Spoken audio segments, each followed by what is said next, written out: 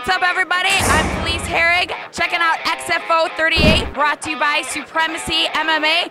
I'm here checking out amateur fights, pro fights, and the comeback of Jens Little Evil Pulver. Check it out.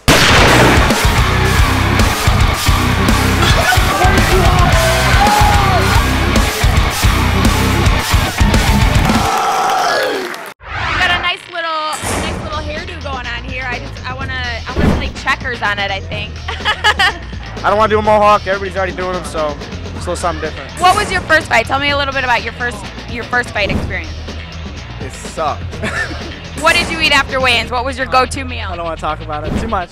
bagels with peanut butter, yogurt. The sandwich my mama made me. Is that a pre-fight ritual? Do you always chew gum before a fight? Definitely. Do you wear that that hat before every fight? Yeah, it's kind of uh, becoming a little trademark. Watch some highlight videos of Alistair Overeem before the fight. That's about it. Do you have a favorite fighter? I just like them all. I mean, hey. Nice black eye. Thank you, thank you.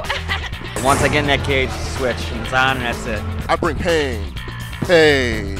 I really think he's here to bring some pain. So, have you heard about the, the video game Supremacy MMA? Yes, and I'm going to play as Jens Pulver as soon as I get it. If you saw me in the video game, would you want to play me or would you want to play against me and beat me? Don't lie. I'll play against you. Play the game.